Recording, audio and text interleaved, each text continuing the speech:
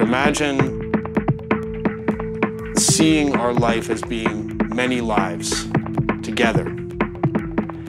Imagine that we have life that we lived before, we have life we're living now, we have many different stages, different phases of this life. And maybe we can really look at each of them as being almost effectively a different life.